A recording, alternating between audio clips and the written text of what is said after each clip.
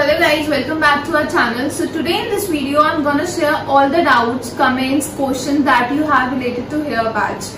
Also ये video आप last तक देखें बिकॉज़ मेरे पास एक बहुत अच्छी एक्साइटिंग न्यूज़ है आप सबके साथ शेयर करने के लिए so let's get into the video so first question जो हमारे पास आया है वो ये है which hair patch is best कौन सा हेयर पैच बेस्ट रहता है सो so, सारे ही हेयर पैचेस बेस्ट रहते हैं वो डिपेंड करता है कि आप कौन सी क्वालिटी ऑप्ट करते हैं। हमारे पास जो हेयर पैच की कॉस्टिंग स्टार्ट है वो सिक्स थाउज़ेंड से स्टार्टिंग है and it goes up to twenty five thousand तो डिपेंड करता है कि आप कौन सी क्वालिटी ऑप्ट करते हैं। ऑब्वियसली एक सिक्स थाउज़ेंड का पैच है और एक ट्वेंटी फाइव थाउज़ेंड वाला पैच है। तो एक ट्वेंटी फाइव थाउज़ेंड वाले हेयर पैच की बेटर क्वालिटी और बेस्ट क्वालिटी रहेगी in comparison to six thousand so six thousand से ट्वेंटी फाइव थाउज़ेंड के बिटवीन बहुत सारे हेयर पैचेस आते हैं, बहुत सारी क्वालिटी आती है, बहुत सारे ब्रांड्स आते हैं, वो कम्प्लीटली डिपेंड करता है कौन सी क्वालिटी ऑप्ट करते हैं। तो नेक्स्ट क्वेश्चन ये रहता है कि is hair fixing permanent hair patch permanent रहता है या नहीं? सो हेयर पैच जो सिस्टम है, ये एक सेमी परमानेंट प्रोसेस है। It's not a permanent process इसे हम सेमी परमानेंट कह के चलते हैं, क्योंकि इसकी जो लाइफ स्पेन होता है, इसकी जो लाइफ होती है, वो डेढ़ से दो साल की होती है। बाकी it completely depends upon your usage और मेंटेनेंस कि आप घर पे उसे कैसे यूज़ कर रहे हैं, कैसे मेंटेन कर रहे हैं? वो अब हमारे पास आता है, हम आपको पूरा मेंटेन करने का तरीका शैम्पू कंडीशनिंग एवरीथिंग हर चीज़ का तरीका आपको हम एक्सप्लेन करते हैं. बट आप वन मंथ में एक बार हमारे पास आते हैं एंड ट्वेंटी नाइन डेज़ आपको खुद मेंटेन करना होता है. तो इट कम्प्लीटली डिपेंड्स कि आप कैसे उसे यूज़ कर रहे हैं, कैसे मेंटेन कर रहे हैं. ऑन एन एवरेज इसकी डेढ़ से दो साल की लाइफ रहती है. ट्रांसप्लांट ज़्यादा बेटर है या फिर हेयर पैच एक ज़्यादा बेटर ऑप्शन है? तो मैं ऑलरेडी इस टॉपिक पे पूरी वीडियो बनाकर अपलोड कर चुकी हूँ। मैं डिस्क्रिप्शन में लिंक मेंशन कर दूँगी। आप वहाँ पर जाकर चेक कर सकते हैं कौन सा ऑप्शन ज़्यादा बेटर रहता है। बट अगर मैं आपको ब्रीफ में बताना चाहूँ तो हेयर पैच एक नॉन सर्जिकल प्रोसेस है और हेयर ट्रांसप्लांट आपका एक सर्जिकल प्रोसेस है। तो why to go for a surgical process जब आपके पास इतना बेटर नॉन सर्जिकल ऑप्शन है? सो नेक्स्ट क्वेश्चन इज़ क्या ना हेयर पैच भी pulled off so normally hair patch आपका नहीं निकलता है। इसके लिए मेरा आंसर कम्प्लीटली नो है। अगर आप सोचते हो कि आप बाइक चला रहे हो, आप पार्टी में हो या आप कोई भी एक्टिविटी कर रहे हो, आप अपने ऑफ़िस में हो और अगर आप सोचते हो कि आपका हेयर पैच निकल जाएगा तो ऐसा बिल्कुल भी नहीं होता है। आपका हेयर पैच एक प्रॉपर फिक्सिंग सिस्टम होता है। वो आपका पैच परमानेंट रहता है वन मंथ के लिए। जब आप मेंटेनेंस के लिए आते हैं ट्वेंटी फाइव से थर्टी डेज़ के बिटवीन जब भी हमारा टेक्नीशियन आपका हेयर पैच निकालता है अदरवाइज़ आपका हेयर पैच प्रॉपरली फिक्स रहता है। बट येस अगर किसी की इंटेंशन नहीं हो कि उसको निकालना है, खींचना ही है तो ऑब्वियसली वो निकल जाएगा।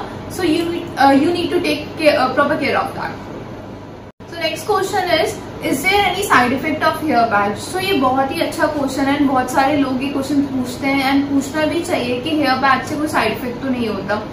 तो as I told you hair patch एक कम्प्लीटली नॉन सर्जिकल प्रोसेस है, कोई भी रिस्क नहीं होता। इसमें जो हम प्रोडक्ट्स यूज़ करते हैं, जो क्लिप्स यूज़ करते हैं, ये प्रॉपर स्किन फ्रेंडली है प्रॉपर मेडिकली अप्रूव्ड है।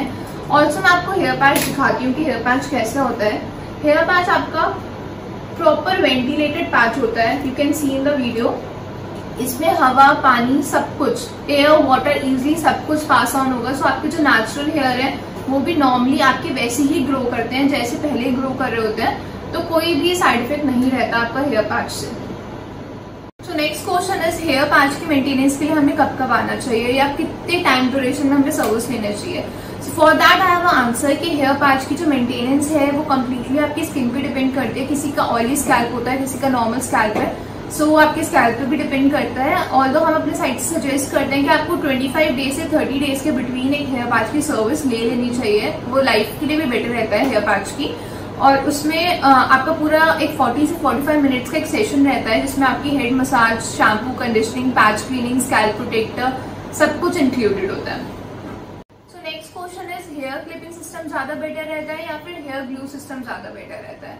तो ये डिपेंड करता है कि आप क्या करवाना चाहते हैं। इफ़ अगर आप रोज पैच निकालना चाहते हैं लगाना चाहते हैं तो hair clipping system is a best system but अगर आपको रोज नहीं लगाना, रोज नहीं निकालना तो हेयर ग्लू सिस्टम बेटर रहता है, जिसमें आपका पैच फिक्स हो जाता है कम्प्लीटली फॉर अ मंथ जो मैंने आपको बताया था लास्ट क्वेश्चन में कि आपको 25 से 30 डेज़ के बिटवीन एक सर्विस के लिए आना पड़ता है तो उन लोगों के लिए जिनको रोज नहीं लगाना रोज नहीं निकालना तो उनके लिए हेयर ग्लू सिस्टम ज़्यादा बेस्ट है।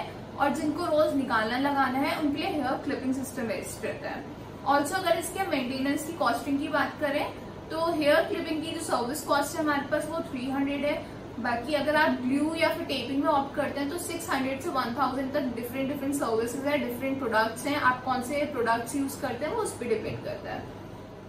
सो नेक्स्ट क्वेश्चन इज़ क्या हम हेयर पैच पहन के नहा सकते हैं? तो ये you can take a shower while wearing a hair patch आप हेयर पैच पहन के नहा सकते हैं आप शावर ले सकते हैं कोई भी प्रॉब्लम नहीं आता।